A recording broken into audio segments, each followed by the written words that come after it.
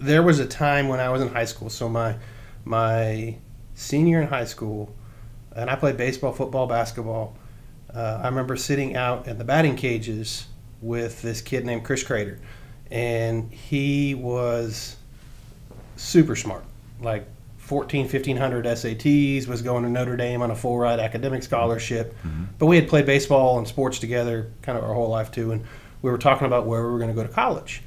And um, our baseball coach walked up and was kind of listening to the conversation. And our baseball coach's son was also one of my teammates pretty much my whole life from age four all the way up. So obviously family friends, we have known them for years and years and years. And, and he said, he said, James, he said, you're a good student.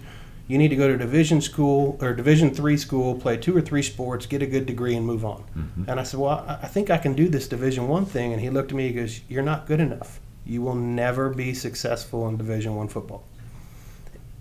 I will never forget them. And when, when I was drafted, I went back to the school, which he was then principal of, and thanked him for those comments. So it's things like that that you look back on that you're like, I did it.